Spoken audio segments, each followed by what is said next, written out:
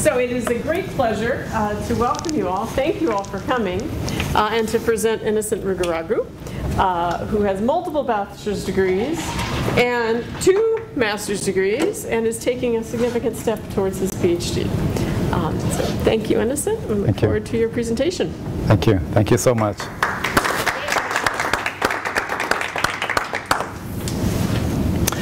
So, good morning, everyone. Thank you for coming uh, to continue supporting me through this journey. Uh, it has been a quite journey, and so I'm happy the journey has been uh, has been good, and so uh, we continue to celebrate this journey together. Um, my topic and my research topic is the leadership for peace and reconciliation in post-violent sub-Saharan African countries, ethical pragmatism. And so that's, uh, that's what I've been trying to grapple with. That's what I've been try trying to grapple with. And so this topic is personal to me and is purposeful to me. And uh, since you are all my friends, I'm sure you have heard me talk about these topics. And particularly today is a special day for me uh, as a Rwandan. Uh, we had two Rwandans with uh, uh, Claudine. Claudine, thank you. So today, that's when the genocide in Rwanda started, uh, April 7th, uh, 23 years ago. And so as we uh, celebrate this work, uh, so right now people in Rwanda, they are commemorating the genocide. So uh, if you don't mind, I ask you to stand and let's remember the victims of uh, Rwandan genocide and other genocides around the globe.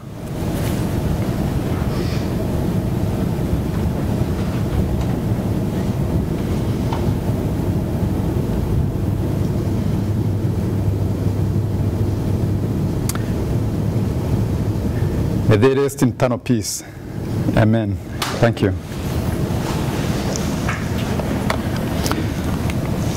And so um, this is the topic that I ventured out. As you can see, this is sub-Saharan countries, um, all the countries that are below sub-Sahara desert. That's what I've been trying to grapple with. And particularly, all these countries have been having similar crises as far as the violent conflicts and peace goes. And so that's why I thought of staying with these countries. And it's a journey that I'm entering, but also it's a journey that I, I hope and plan to stay in for a long time. So this might be defining my, my career in the years to come.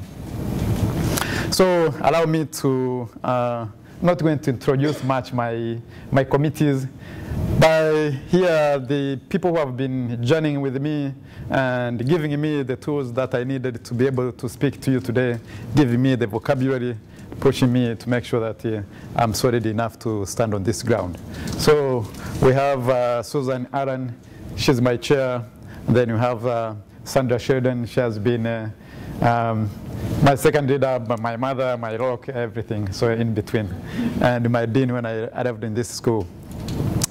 And then uh, we have Steve Zaccaros uh, from the Department of Psychology in the main campus.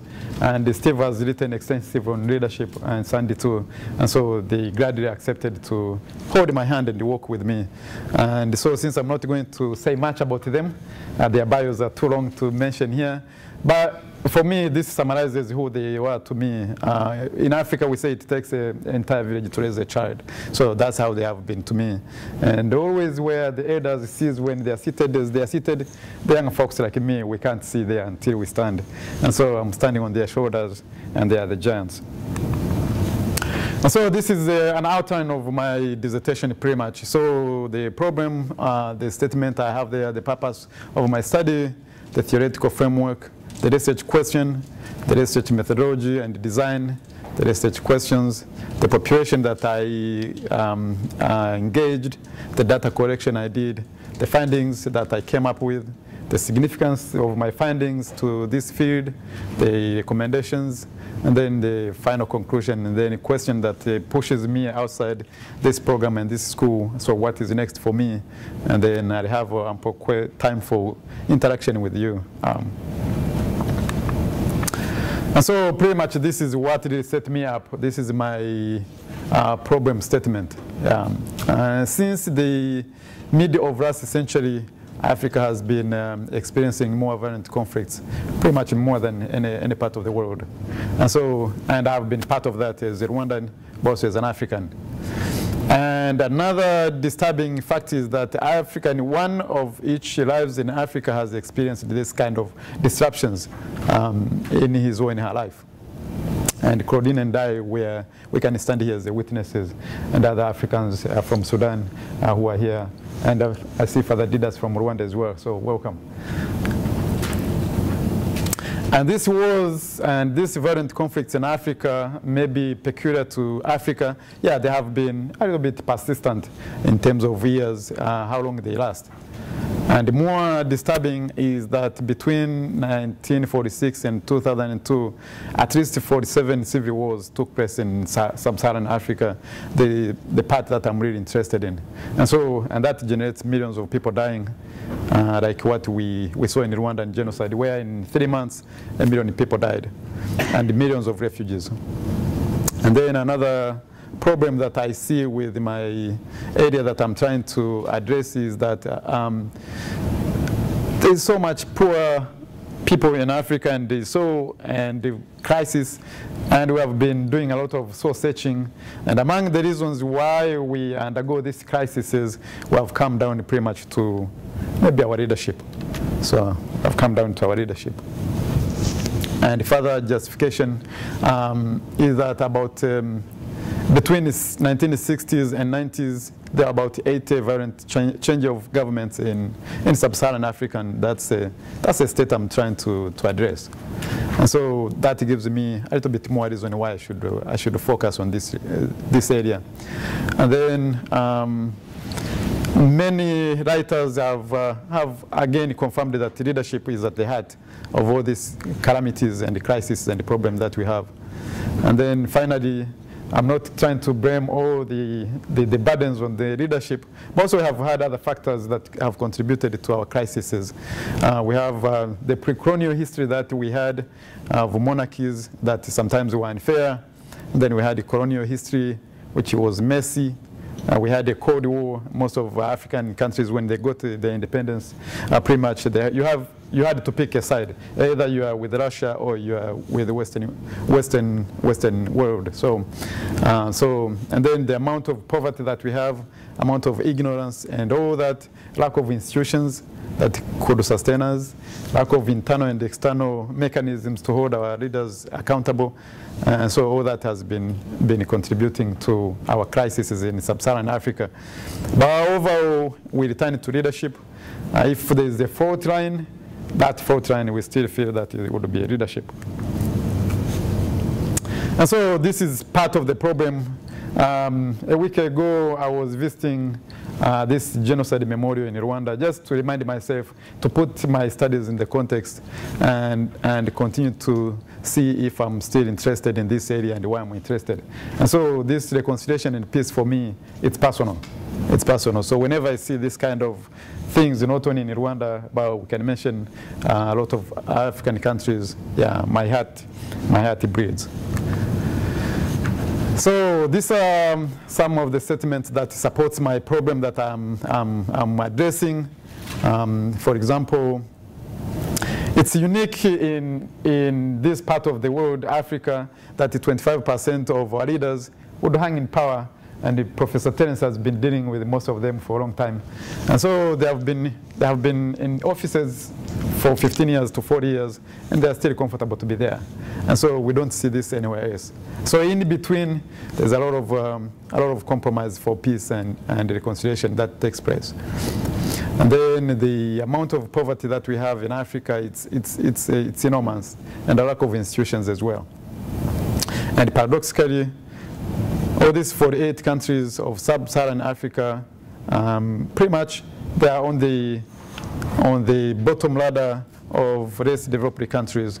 And so, and despite that fact, we have a lot of resources, natural resources, but we find ourselves there. And when we ask the question why, we return to leadership. And this is just another support to the facts. And so when you look at the GDPs, at least as far as the IMF uh, goes, that's a, um, the International Monetary Fund, for 2016, this is how we stood as, as continents. And so as you can see, Africa is, on the bottom. Africa is on the bottom.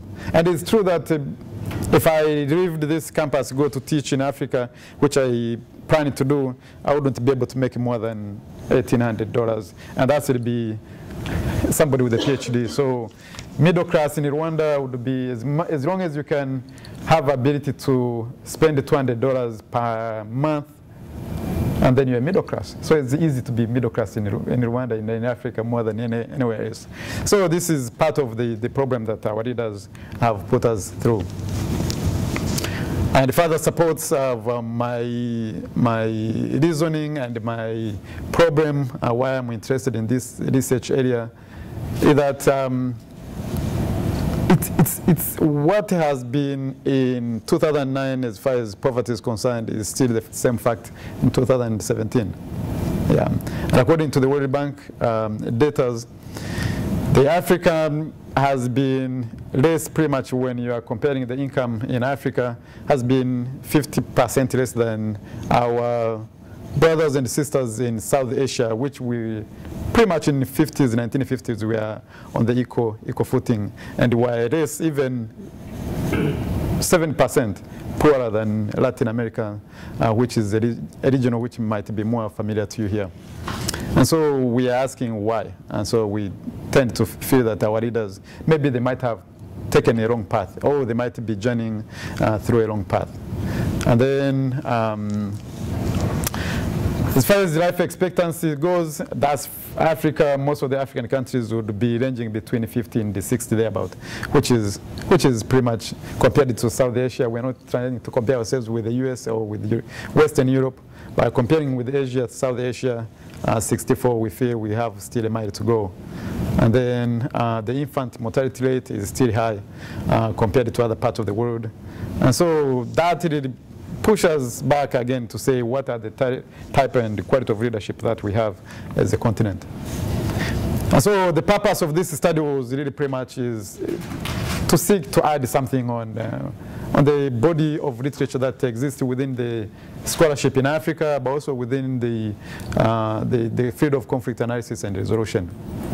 And specifically, personally, I believe uh, it is critical to understand um, how the African leaders who have chosen uh, to lead for, for peace and reconciliation. Um, how do they manage to do that? I think is, is key for me to be able to, to understand that. And finally, on this slide, 90% um, pretty much of sub-Saharan African nations have experienced the, this kind of uh, sporadic rule or, or kind of uh, violence that we have seen in the past three or four decades.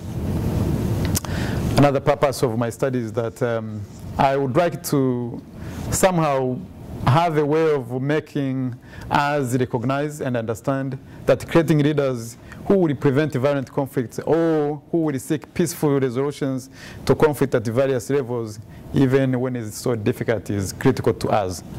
And leaders for peace, such as Mandela, uh, we should be able to really uh, highlight them and should be able to allow them to be taught and mentor us and mentor the young leaders. Then another purpose is, as I was doing my research, there are a couple of things that were coming up that were disturbing. So Burns says only leaders come to overcome the abuses of leadership, the previous leadership.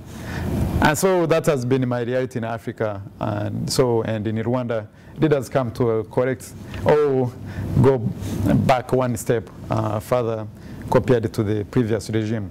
And John Maxwell says everything rises and falls on leadership. So I've been thinking this is two-way, uh, two-way uh, giving too much credit to the leaders.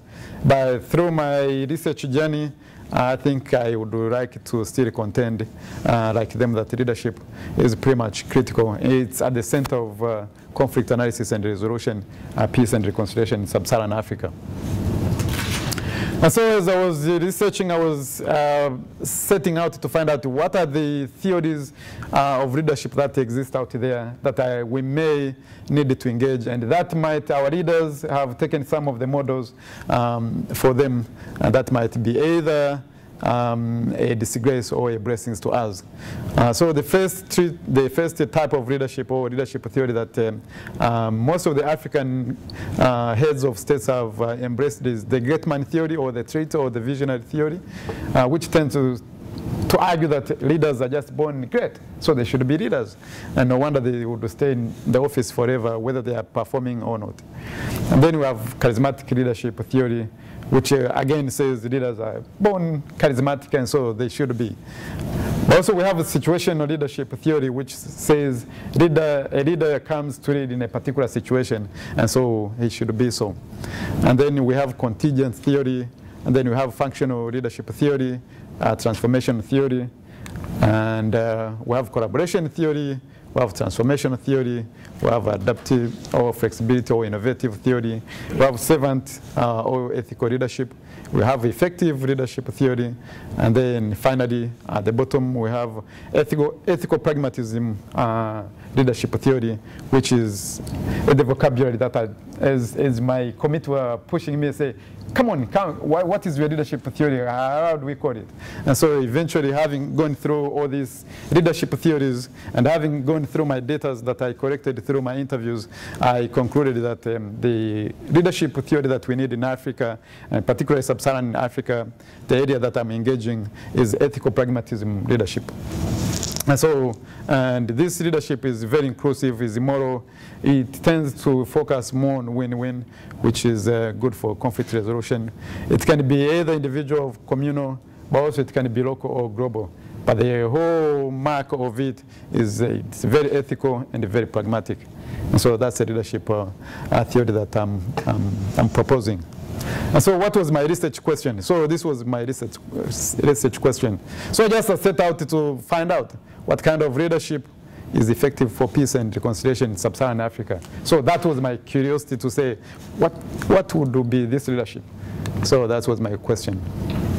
And so these are some of my interviewees so that are pretty well fascinating and who have been in this field for a really long time. So the first gentleman here has been assistant to the General Secretary of uh, United Nations and has been uh, uh, African Union uh, General Sec Secretary for a long time, um, and the Prime Minister and the Vice President in Tanzania. So he's, he's pretty known for having to deal with a lot of violence, conflicts and a lot of uh, issues in sub-Saharan Africa. So his name is Salim Mohamed Salim. He's from Zanzibar. And then the other gentleman is also a veteran in the area and he's known uh, his ethics, you can't question his ethics. He's, um, he's a judge, a justice in Tanzania, but also he has been a prime minister, he has been a vice president, and he has been dealing with a lot of uh, issues in sub-Saharan Africa. His name is Joseph Warioba. So some, these are, were some of the, my, my, my, my joys encountering some of these veterans who have been in the field for a long time. So what were, you, you might be wondering, what were what was my research, um, research method and uh, what was my research design.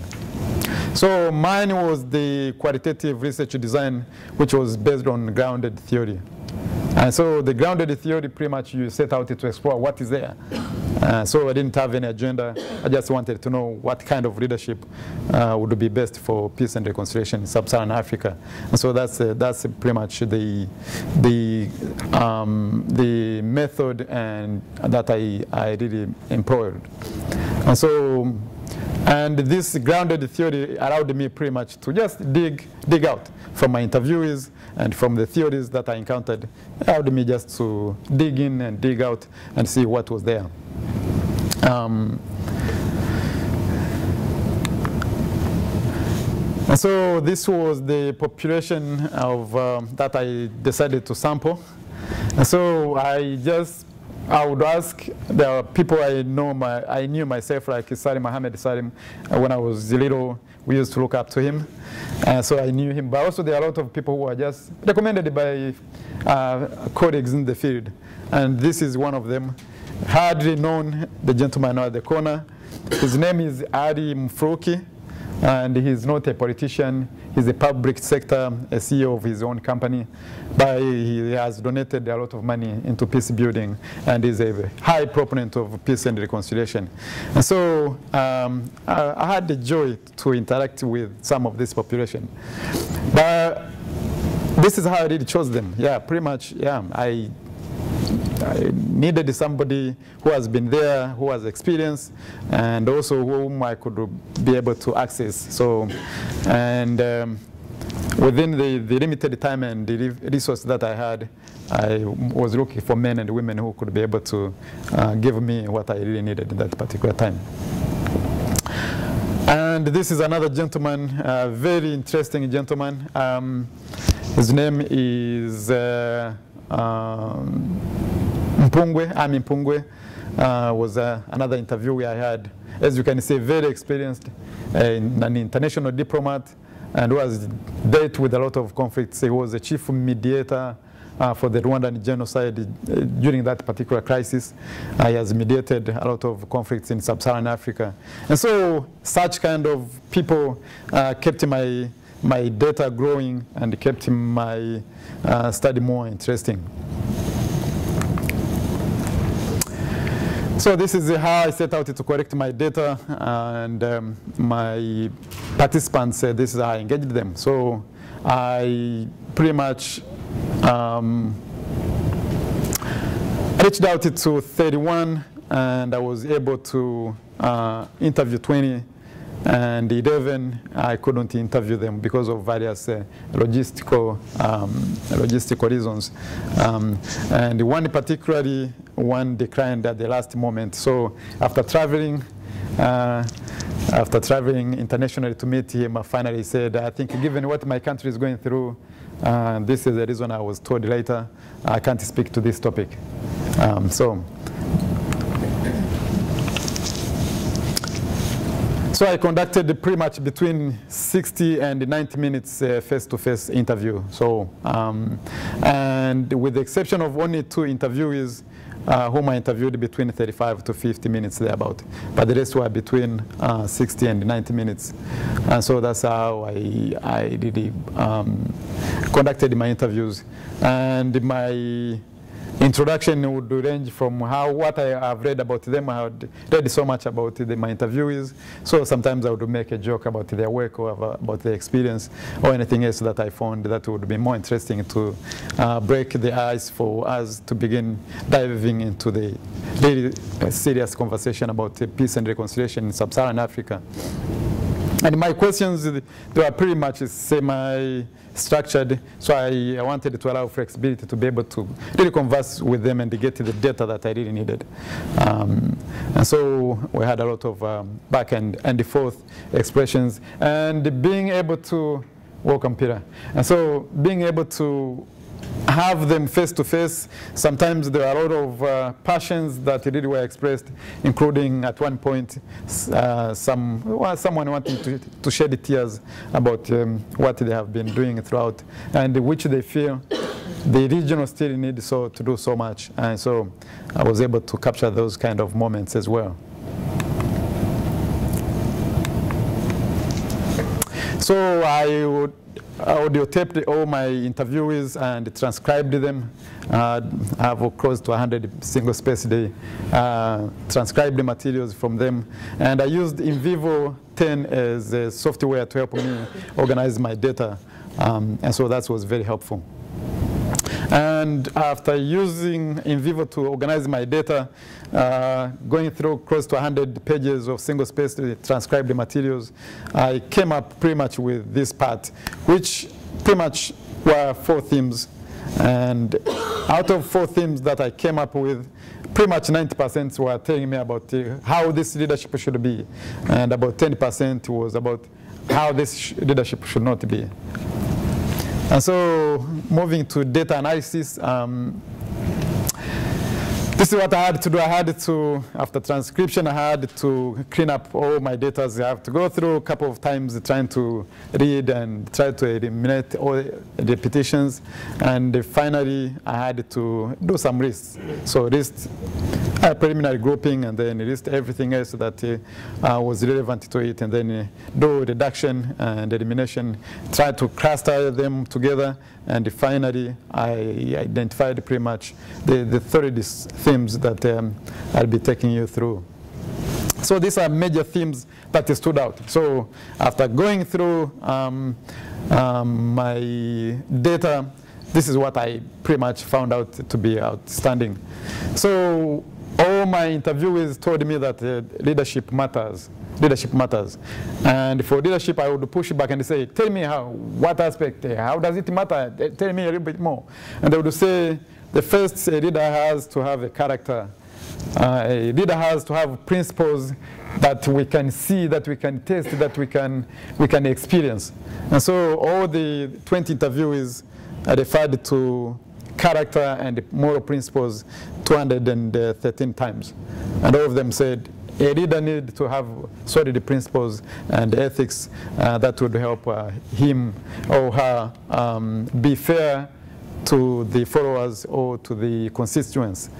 And so 19%, 19 of them, of my interviewees, did say it's very important for a leader to know what is ex he is expected or she's expected to do.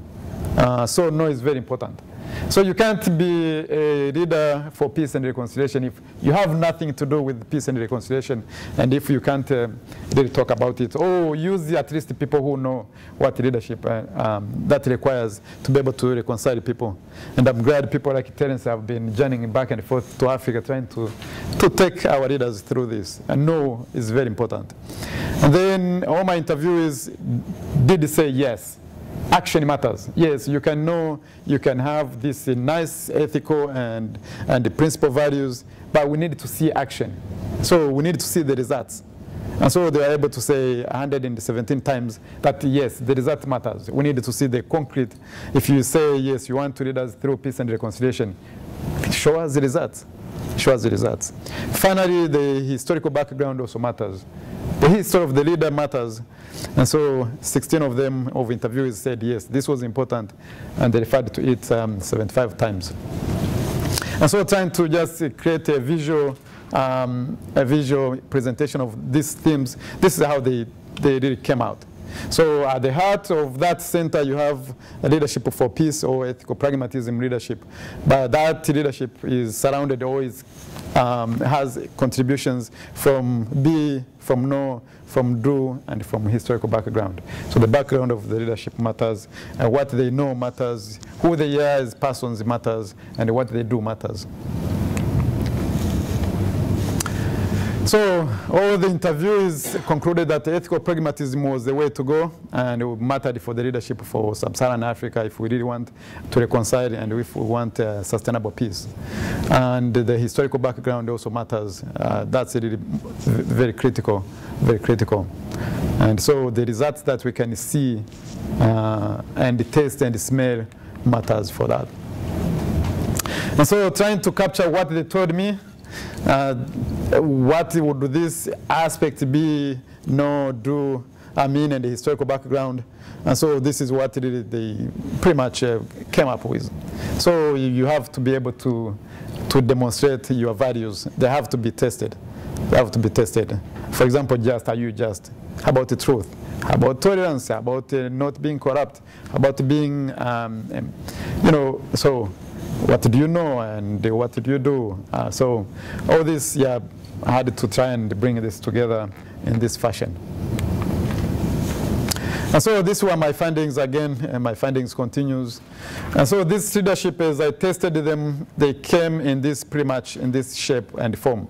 So there are some leaders who would just lead from above, so they don't care about being um, being more inclusive. They would just be single-handed men and women, but also they would be ethical and they would be pragmatic. So the results would be the same. And, but, then you have some who would prefer to lead as a team, pretty much engage everyone, so leading from the bottom, or what I would think would be more a communal approach, while the one on the left here would be more individual approach. So either way, uh, would lead to the same results.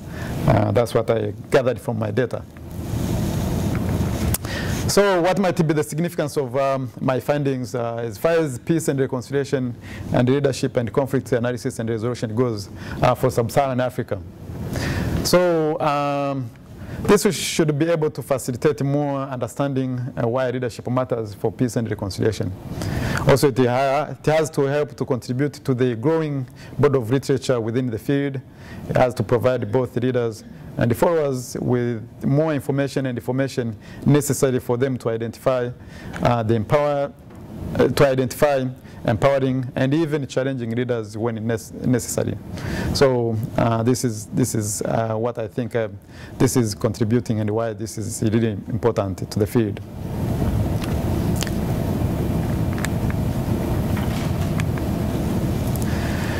Also, this study will help to understand better and plan better about the policies that affect our field as, as peace builders and, um, and reconciliation uh, builders.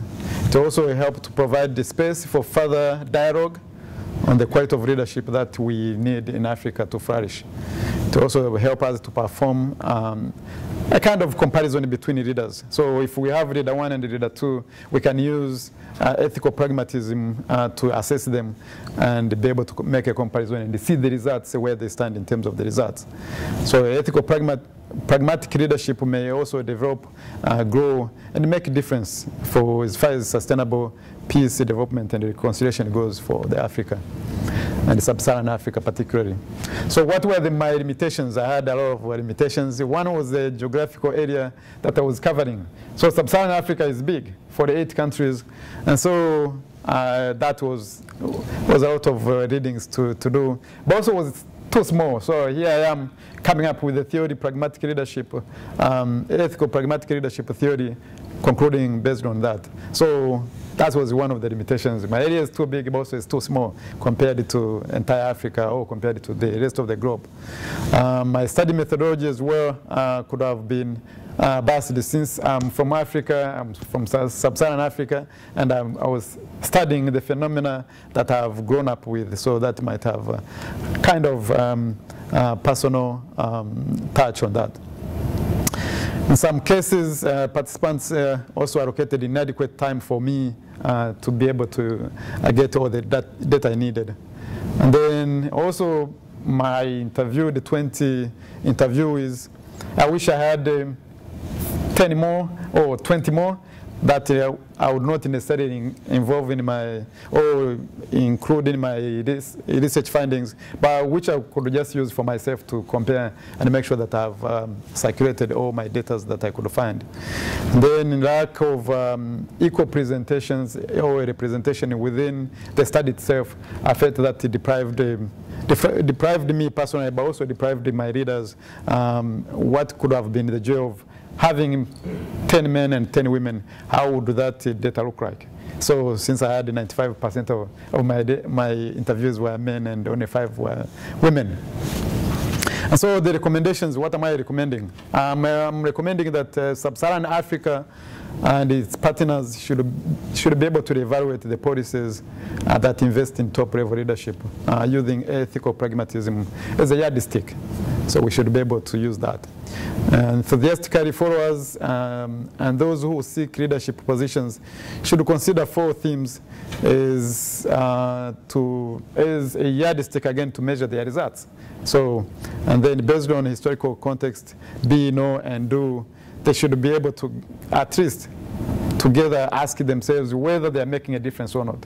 So if a leader is in the office, he should be able to say, am I making a difference? Am I making life better or worse?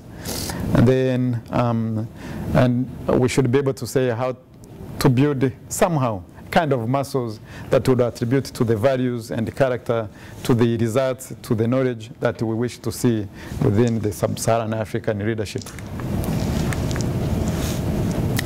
Sub-Saharan Africa also should, countries should also be able to increase the number of women in the top level leadership. Since I was studying the top level leadership, I think um, no wonder I ended up with only 2%. So instead of, no 5% instead of uh, 50%. So I think it's a challenge for sub-Saharan African countries and particularly challenge to me as, as, um, as a scholar to be able to increase that number.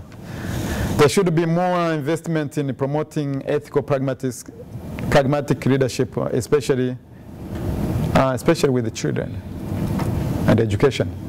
So there's a gentleman in Africa, Mo Ibrahim, who has a project of rewarding five, 5 million to African leaders, heads of state who retire gracefully after doing a good job. I think some of this money, I think I'm going to write him in personal, should go to actually targeting the young ones um, as they grow up. Sub-Saharan African countries need to deliberately increase women also on the top level leadership, given that that's where really the policies and the politics um, get, get be, be decided that influences the rest of our lives. And then um, finally, um, again, looking at the, how the policies, politics and the powers interplay within the peace um, and reconciliation, violence, conflict, genocide, uh, and even democracy and development, I think we should be able to say yes, we need to increase the number of, um, of women but also not only women, but also men who, are, who can be ethical and pragmatic, um, not only at the individual level, but also at the institutions, our institutions. So my conclusions, um, this would be my conclusion, you might be getting tired.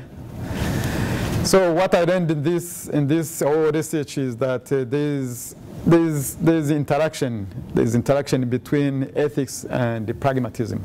So the, the synergistic interaction between ethics and leadership that, and pragmatism came out uh, outstandingly uh, from my interviews and from my data.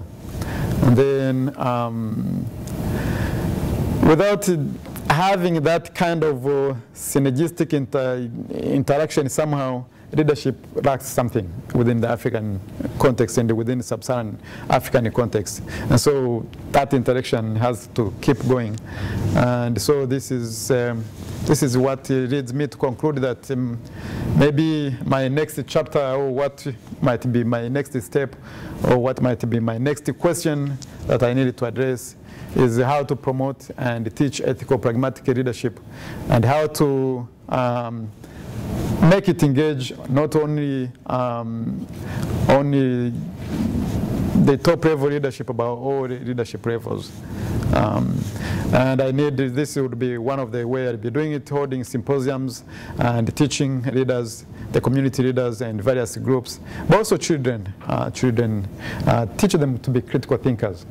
And, and most of the African contexts, and particularly Rwanda, even the genocide happened because uh, the leader said we should kill and we kill. So I think we should reverse that. We should teach our kids to ask questions why. We should uh, teach our communities uh, to ask a question why. Why should I do that?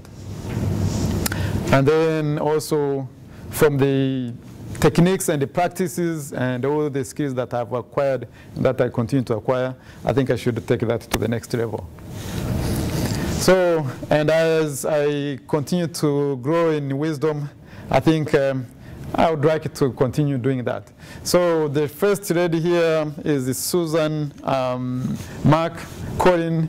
She's the vice president of Search for Common Ground, a very known or known uh, NGO that does peace building around the globe. She, is, she's a, she was one of my interviewees. She does incredible work. So I'd like it to see growing and become like her, or training men and women who could become like her if I can't become like her. And then on the other side, I have my chair here. Uh, she does incredible work, not only in the classroom, but also around the, around the globe in many countries. And so this is what I see myself uh, taking on as the next step. So with that, I think I've spoke too much. I should keep my mouth shut. Thank you so much.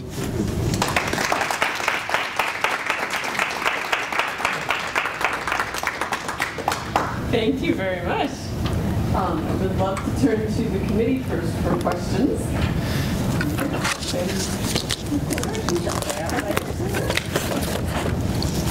Thank you very much.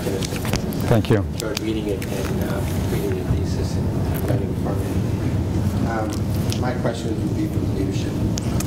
Um, first of all, can you, uh, uh, would you provide a definition of the ethical pragmatistic styles of pragmatism?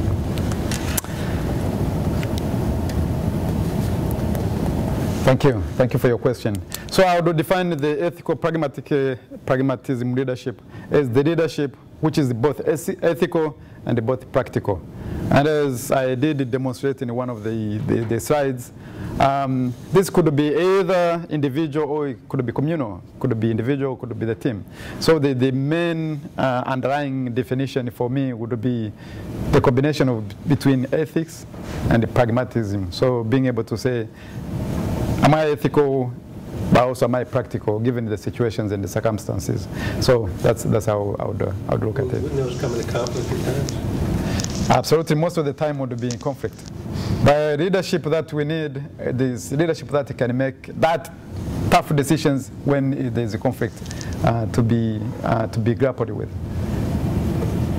So, I think I heard you say pragmatist style and ethical style could come into conflict.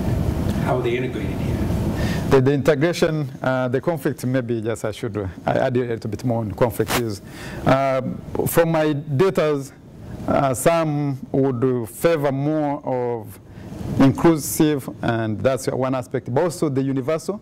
So the ethical uh, definitions would tend to be more universal, and some would be more specific, so they wouldn't be universal.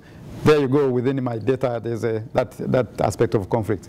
So what would be the meeting point, or what would be the, the point of reconciliation between these two would be the purpose of why they're doing what they're doing. So if the purpose is peace and reconciliation, and then at this particular point, should we approach it from the universalistic uh, moral point of view or individualistic moral point of view? And so the purpose itself would be able to guide us uh, to what should be the, reconcil reconciling point. So if peace and reconciliation is our desire and is our aim, and then uh, in between, um, suggesting this is a continuum or? It's a, it's a continuum. Given Either ethical or pragmatic? Uh, it's both. So you, you are ethical, by ethical sometimes it would conflict, you would be more universal and sometimes you would be more individualistic. Uh, but the, the, and the whole aim, you are trying to be practical given the situations. And so the meeting point becomes the peace. The meeting point becomes reconciliation. So the leaders who should be able to ask themselves, at this point, given my morals and my ethics, and given what is practical, and so what should I do? What should my community do? What should the country do to address or to reach peace and reconciliation? So, yeah, it's a tension that has to be there conflicts are more dynamic, and so these two terms, ethics and pragmatism, should be equally dynamic to be able to um, move according to the context. You, um, you use the be know do model, yeah. which is from the uh, military, as you referenced in your, um, it's, it's, in the military manuals. Um, the B has to do with character, right? And, yes um, pull up your,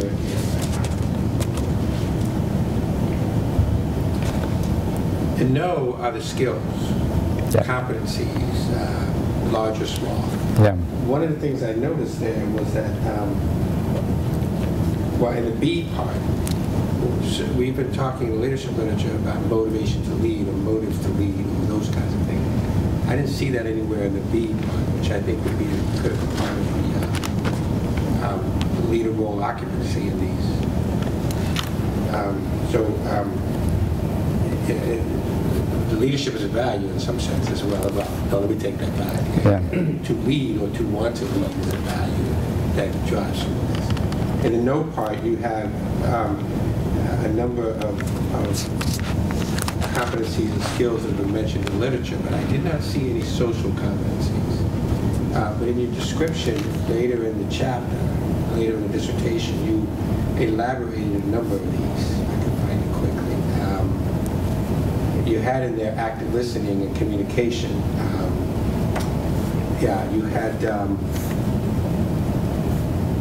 of helping lead, exhibit good interpersonal communication skills, active listening, and empowering others. It seems that the know should also have the social capacities. Thoughts, thoughts on that? Yeah. Um, again, this this was uh, was not uh, conclusive, so I think the list is to keep being added. Uh, you're right. Yeah, that uh, motivation to read should be should be added. Uh, common sense, prudence should be added, and it would be part of my what will be the next step. So as I continue to interact with the veterans in the field like you and the work, yeah, I should, I should add to this list. And I've taken them down and I added them up. But you did, based on this, you did hear these themes in your interviews. Absolutely, they came up. They Yeah, they come up, yeah. Especially on uh, ethics, yeah. Question like prudence. In my interviews, I had uh, three bishops, and always they said a leader needs to have a common sense, a leader needs to have prudence, a leader needs to be able to uh, really know what the leadership is, uh, which, which, which, uh, which is um, part of know. So, yeah, thank you. I added them up. Now, going to the do component, um, there's quite a bit in the ethical leadership literature. And I had a student who actually did a dissertation on this, and he spoke about moral communication. And Trevino and uh, who major people in ethical leadership management, talk quite a bit about moral communication. Um, It seemed, so have you, did you, did you- did you uncover anything in your interviews about moral communication? Communication is part of it's it's um, it's a part of uh, the techniques and the practices within the field of conflict analysis and resolution. And it, yes, I would agree. And it did come up that uh, a we most of the time when they moving towards violence, their communication changes, the tone changes vis-a-vis when they're communicating for peace. Well, let me, let me be more specific. Yeah. Communication about moral standards, about moral um, uh, behavior, about moral norms. It's, it's a morally focused or ethics focused communication. Anything on that? I would think communication, yes. Communication matters, and the communication can be, if is for peace and reconciliation, it would be ethical. And if it's for violence, most of the time would not. Um, so that's how I think it came, it came across in my interviews. So when the politicians stand there, they say, go and do this, or don't do this, and then that communication could be ethical, could be unethical, could be pragmatic, or could be unpragmatic. Yeah, so, Okay. Um, One final comment. Um, You you talked about communal leadership. Yes. So there's a growing literature on collective leadership that you might, um, in fact, some of, I think some of the better papers actually came out since your um, proposal defense. Um, So uh, um, it was after you had set things up, but um, there's a growing sense that in complex systems by countries and organizations, leadership is often shared, and there are different patterns of shared leaderships. I wonder if you had saw any of those themes in there. Yeah, that's true, yeah. Um, the communal leadership, the, first models that uh, tended to say great man and, and, um, and the traits, uh, which you have written extensively on, uh, they seem not to be holding at this, at, at this point in time, given the complexity of the, the countries and the complexity of globalization. So most of the, the interviewees would say yes. We need a leader, and I think in my my my dissertation, we need a leader who can who can interact with other leaders, who can interact with the followers, who can interact with the constituents. So the, the collective leadership might be the next step uh, within within the, the wider uh, sense of leadership. So there's no any leader who can know it all, and who can do it all, and who can be all, and who can have the entire country or entire continent context. So you need other shared context, you need other shared knowledge, you need other shared experience and work. So that's true, yeah. I, I should expand on this. Another, which means another part of the do part of the leadership is, is fostering leadership in others. And you mentioned servant leadership as a key framework for your approach to this. And that was a key, that was the underlying key theme of the servant leadership uh, approach. The, the, um, the marker for leadership effectiveness in servant leadership is the fact that other people are leading Yeah. after you've uh, worked with them. So um, I, I think that needs to be part, another part of the do part of your box. Thank you. Yeah, I totally agree that um, within my mentorship, uh, that I should have said a little bit more on the mentorship, but that's the role of the mentor. Mentor being able to say, yes, I've been there, and so I can encourage other people to go there. I don't have to hang on power for 20 years or for 40 years. I can mentor other leaders to take uh, the leadership uh, task and the positions. So yeah, sure, I should add that part on the do. Thank you.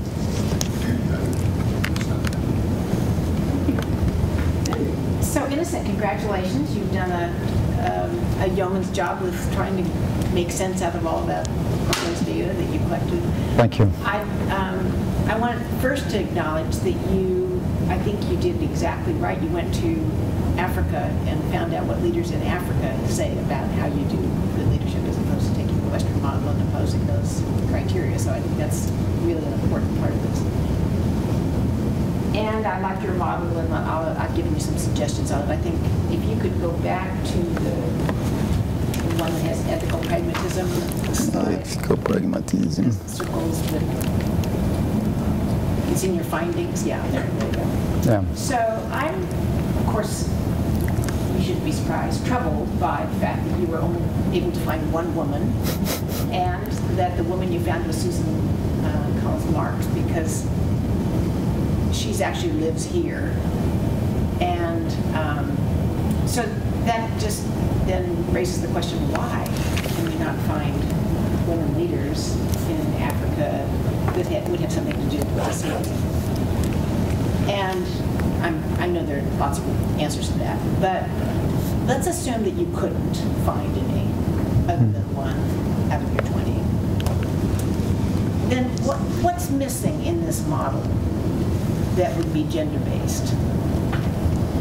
Or maybe a better question is, how is gender part of this model when a big voice around what would make a good leader in Africa is missing in the model?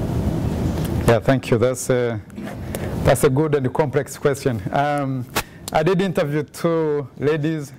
Uh, one is Susan Collin, uh, who lives here, but she lives everywhere. Yeah. Uh, and she's originally from South Africa.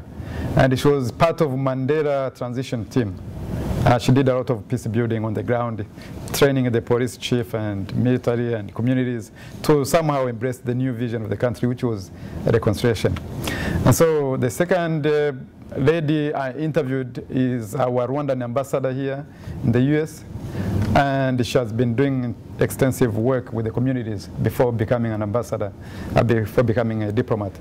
And so why didn't I find more? I, it, it's my cry. I wish I had more. I tried to reach out to many, and that should be part of my my uh, next step to encourage more women. I think we have more encouraged men to uh, come out and speak about their experience and expertise in this than po po possibly we have promoted women to do that. Um, so that is my one of my my mea culpa, and I think as a sub-Saharan Africa we should do more. But coming back to your second question, which is the key voice which is missing of women, I think I would do, I would not try to categorize these values and experiences and work uh, within the male, female.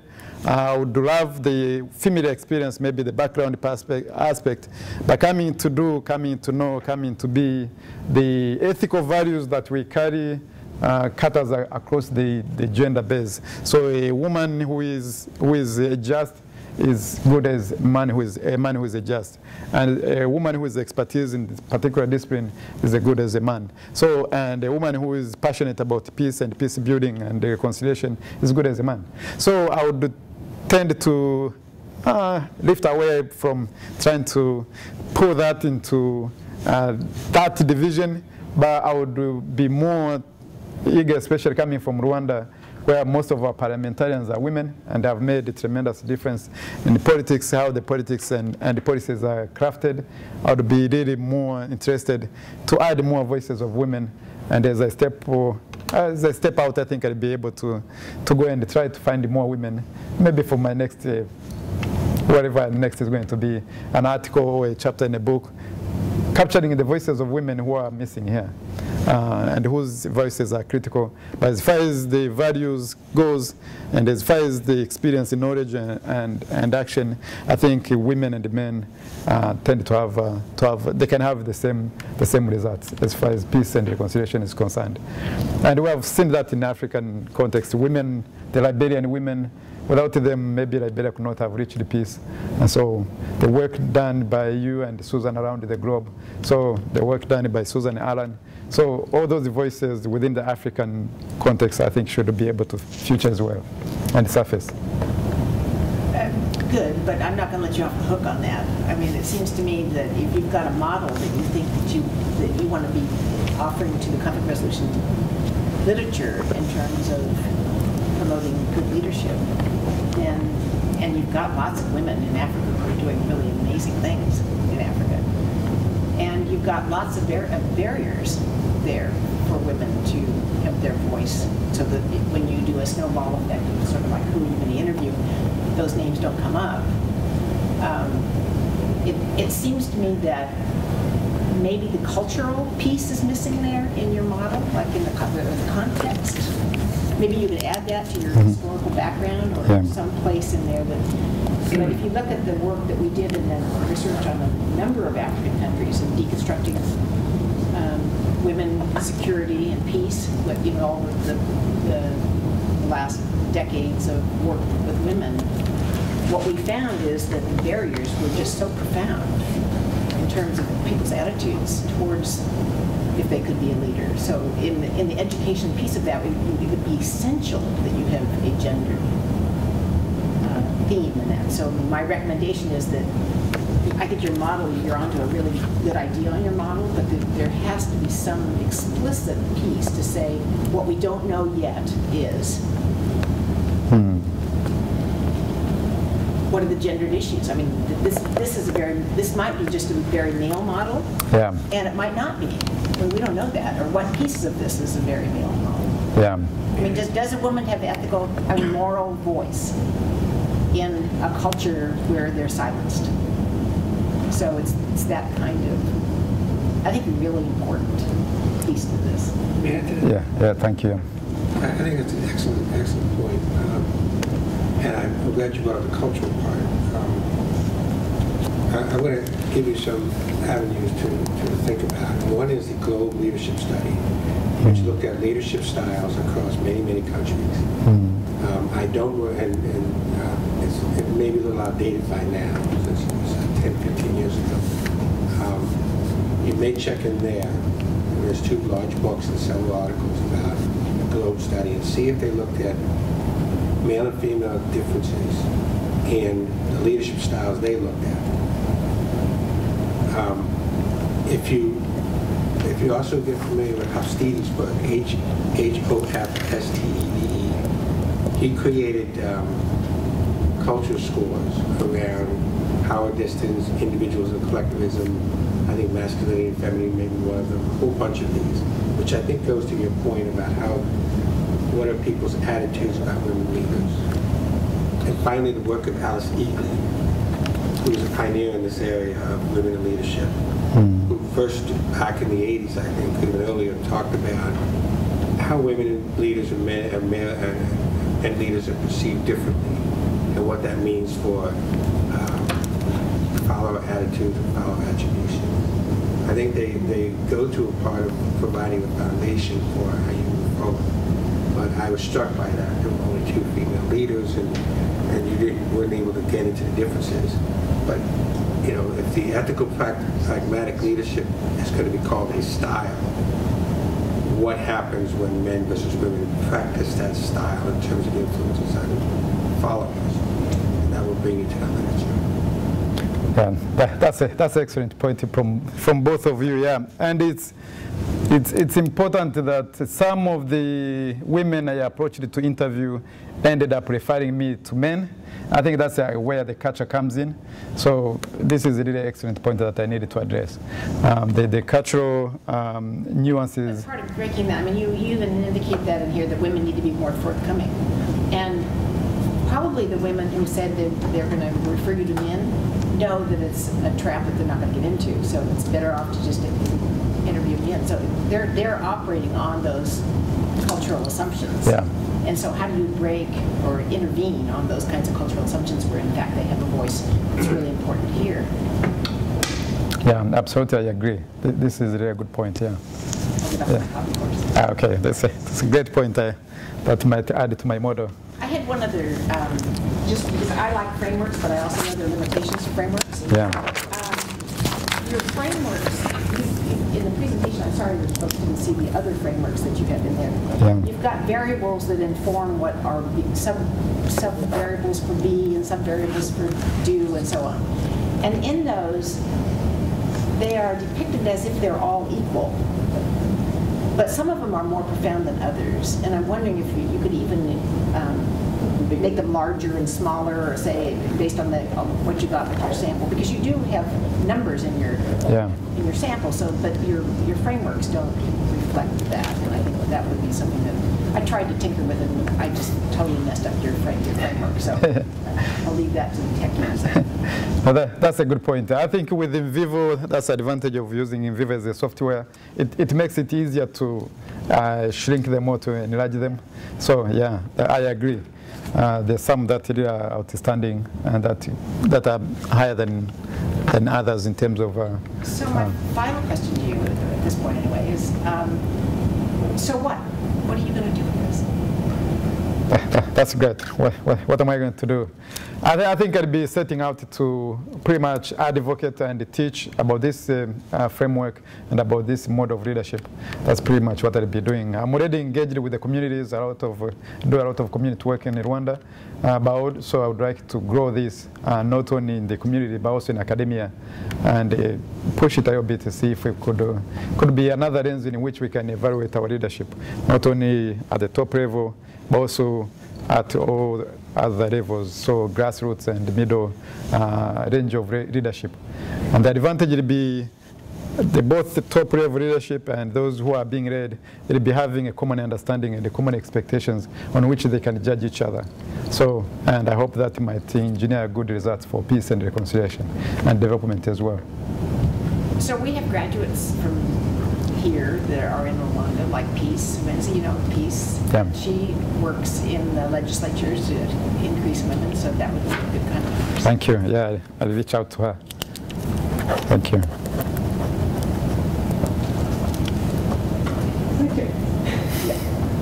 Um, Thank you. I uh, would like to ask you, in a sense, as you step back and look at this as a whole now, because we've been deep in the weeds of each chapter and so forth, um, to look at the whole of what you're offering um, with ethical, pragmatic leadership.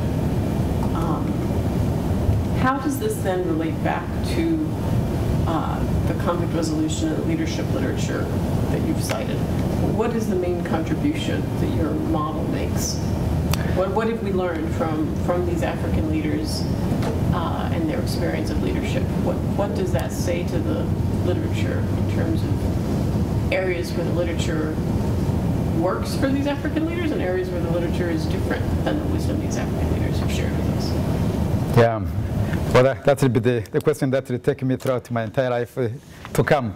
But what would this really mean is that as a field we have focused on other uh, techniques and the practices and the solutions for conflicts, but we have not invested much in any leadership, in terms of especially on top level leadership.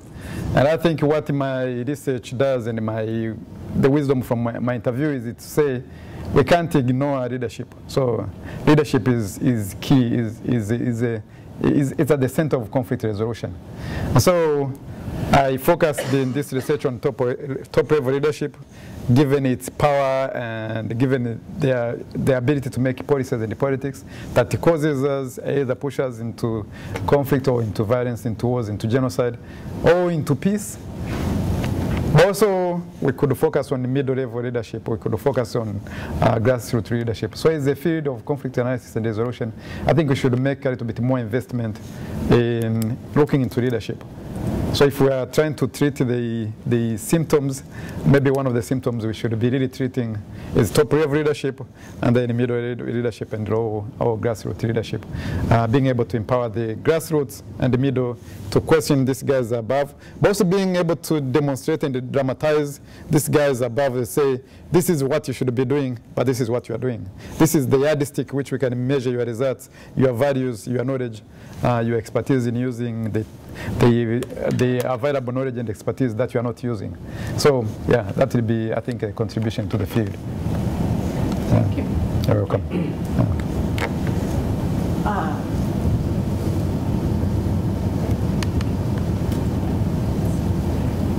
So can we turn to other folks in the room who may have questions for us? Or comments? Yeah, I have a comment. Um, What I find remarkable about what you did is that this went way beyond an academic study in many respects.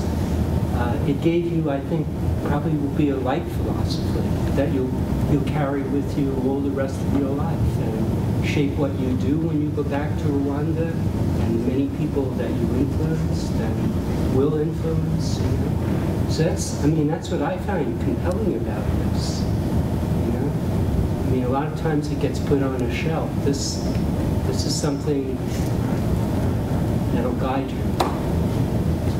Thank you. Thank you, Greg.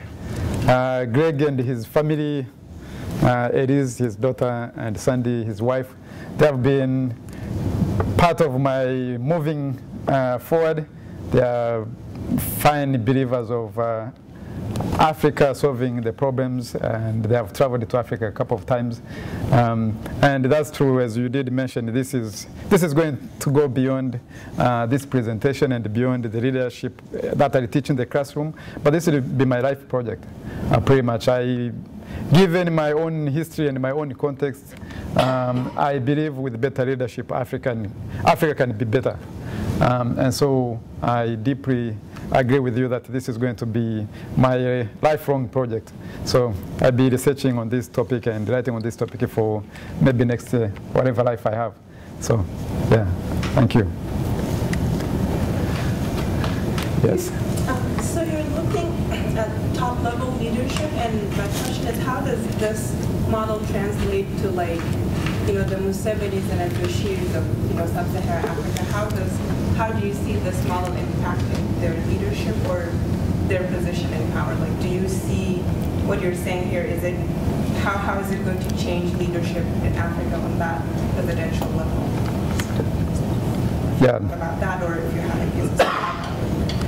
Yeah, that, that's, a, that's a good question. So about 10% of my results were what the leadership should not be, so it's not included in this, given that it was not part of my research. But I have about 10% of my data that says leadership should not be this. And I think that's where you would put the Musevenis and the, and Ali Bashir. But the, what this model would be able to do is to really say to them, this is what we expect you as, as your followers or your constituents, and this is what you, are not doing. And so this model will be able to pretty much communicate to them what we know that they should be doing, or they should know, or they should be, which they are not. And if they want to improve, they can they have a choice. They can improve, or they can sync with their own with their own uh, powers. So, yeah, but I'll be able to say yes. This is what we know. The rest of us we know. If you, in case you thought that we don't know, this is what we know. In case you didn't know yourself, this is uh, what you would improve. So, yeah. Thank you, Innocent, for that research, which is very impressive. And my question is about the four model, the four pillars of your model, because for me it's easy to know what a person is, especially in Africa when you want to elect, for example, a president or any leader, and it's easy to check his or her background, but there is one problem. Yeah, we can also know if he or she knows, but don't do is kind of problematic on my side because you can't know what somebody is able to do unless he or she does it. We, do you fear that this situation can lead our leaders to stick on power as we see in many Saharan African countries because the only people that we know who were able to achieve something or to do something tangible are already leaders. Will they stick on power, or do you think that there is a, more, a way we can overturn this you. Wow, that's a, that's a complex question, Vinny. Asking from Burundi any context. Uh, but here is what, uh, what I would say. One is going back to the historical context. There is no any leader who comes at the top without having a history. But sometimes we tend to ignore the history. So if uh, he or she is seeking higher office, we should be able to say, tell us what you have done in life. Tell us what you haven't done. Tell us what we can see that we can witness that actually you are capable of leading us to this leadership we seek at this point in time. And so I would think that on the part of be and do, they are really they're intertwined. So if the be part, which is the moral and the character part, so if you have no proper ethics that can govern your behavior and your actions, and then I think you are bound to fail with the do. And if you have write them here, and then you are likely to succeed, succeed with the do. So I would not think that this model would actually encourage them to be in the office for a long time and die there. But I think it would rather call them to self-examination uh, to see where do they stand in relation to their constituents, in relation to their followers, and what we know for them to be responding to the question that uh, matter to us, which is peace and reconciliation. So I think this model would be a kind of mirror to them and say, this is, look at yourself, and so where are you? Are you worth to be in this office, or are you good if you went? So, yes, Claudine. My question is about the implementation of this model. We know of us are from Africa, we know that in the African context, power corrupt, especially if you're in power for a while. You tend to kind of stay in power, you bring your kids, your family, and power tends to corrupt in a lot of countries in Africa, especially in East Africa. So you're going to present the model to the leaders, but how are you going to assess the implementation of the model? How are you going to actually convince them that they should be ethical and they should follow the model for the well-being of their own people, knowing that people don't really care about that? Corina, that's a, that's a good question and excellent question. Um, most of the African leaders have tended, this is how they have tended to define themselves from my research that I've been reading a lot about them. I count first my interest and my family's interest and my tribe and my ethnic group interest. And then my party, whatever political party comes, that comes second in the hierarchy of uh, responding to the needs of the people, the constituents, and the followers. And then the country can come the third, or the entire community can come the third. And so back to this implementation, you'll be able to say, looking back into 40, 50 years ago, where these countries have been, um, including a lot of wars and genocides, do we, as a leader, do you want to lead your country there again? We as the followers, should we allow you to lead us there again? So I think this is going to call uh, accountability on both, the, both levels, the leader himself, also the followers. So me being a follower, am I willing to say, no, you can't lead me there again? Or am I willing to say, yes, I close my eyes. As long as I'm belong to your tribe or I belong to your family, and then I can enjoy the privileges and then let the rest go to hell. So I think this will be, be calling, at the level of implementation, it will be calling accountability on two levels. One, on the level of leadership itself, but also another accountability on the level of the followers, being able to say, yes, we know what we, we should expect, and so we, we, can't allow you to take us back to where we have been and where we have not been comfortable. So take us where we are comfortable, take us where we want to go. If you don't know the way, then step aside, somebody else can come in and lead us there. So, yeah. Can I follow up on Claudine's comment? Yes. That's probably a piece uh, in your conclusion discussion around the implication this has for your, um, what conflict resolution people need to do with the followers, quote unquote, the, the, with the people. Do you organize, because you, one of your findings was the education is important both for the leaders and the followers. Maybe you need to play that up more. Uh, Yeah. Because I think she's onto something that unless there's a, a big cultural shift, you're going to continue with the corruption and the power. Yeah, absolutely. Yeah. That, that's a, that's really a good point that I should include, yeah. Um, and I'm a funny believer, a funny believer of education. There's no way we can ever pull out ourselves from all this messy political and economic and cultural mess if we are not educated or if we don't educate our kids. So I, I think yeah, being able to educate critical mind, uh, that will be crucial for implementation of this model. And it's something that I'm, I'm personally invested to doing. And uh, I can't wait for you to come and join me and, and push this model forward as we transform our countries. And Yeah, thank you for your presentation. It's, it's amazing. Uh, but I, I include also community education. We, we may think that education is a classroom education. We, we needed to educate community how they, they know their, what, what the government or the leaders should be doing. I know growing up in Rwanda, the people do not face their leaders, but currently the, the people in Rwanda, they can call. They can call in the president's office, say our mayor is, is messing up. They can, if police is asking to corruption, the people may call in the police office. So that's how community education can, can help people to know and to ask responsibility for and being accountable for their, their leaders. Not only including the classroom, but only going how do you implement this model. You may think about how you have graduates movement and education. Yeah, thank you, Didas. Um, I agree. Community education is most of the time what I do when I'm in Rwanda. I do community organizing.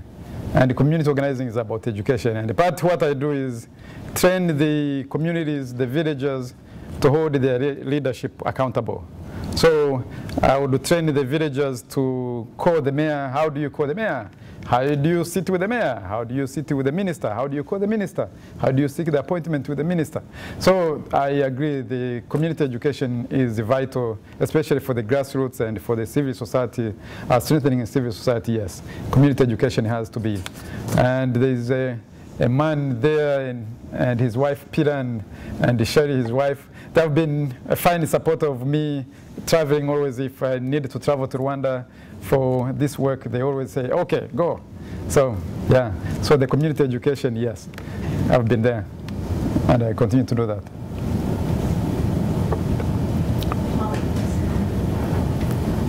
Sort of underlying a lot of this research is an interesting question about what makes a leader choose to be ethical versus choose not to be ethical as a leader.